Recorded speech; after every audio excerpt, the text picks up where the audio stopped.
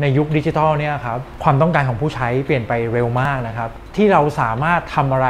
มาตอบโจทย์ออกมาได้รวดเร็วเท่าไหร่ เป็นความได้เปรียบในเชิงธุรกิจของคนที่เอาดีไซน์ thinking ไปใช้นะครับ และที่สำคัญครับเราสามารถที่จะใช้ดีไซน์ thinking อะทำความเข้าใจตัวเองได้ด้วย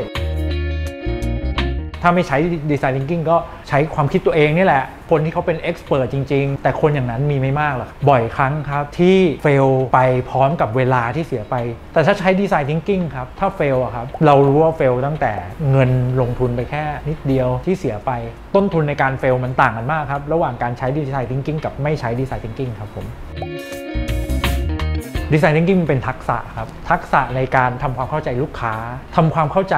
ผู้ใช้ทำความเข้าใจคนนะครับ แปลงความเข้าใจนั้นนะครับเป็นอะไรสักอย่างที่ตอบโจทย์เขาได้ ถ้าในทางธุรกิจก็หาเงินได้ ถ้าในทางจิตใจก็หาความสุขได้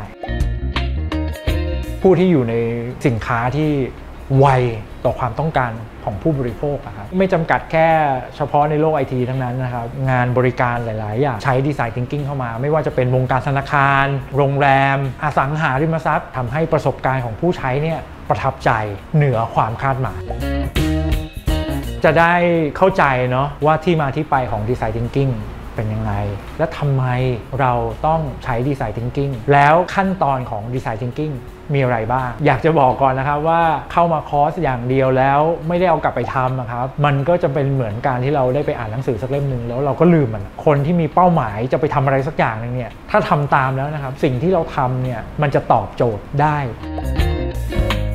ก่อนที่จะเข้ามาคอร์สเนี้ยนะครับ เตรียมโจทย์มาว่าตอนนี้ เอ๊ะเรามีโจทย์อะไร ไม่ว่าจะเป็นโจทย์ทางด้านธุรกิจ โจทย์ของที่ทำงาน โจทย์ของชีวิตก็ยังได้นะครับ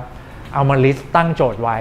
แล้วมาเปิดคอร์สนี้ดู แล้วลองทำตามกระบวนการดูครับ หวังว่าคุณจะได้อะไรกลับไปหลังจากจบคอร์สนี้ครับ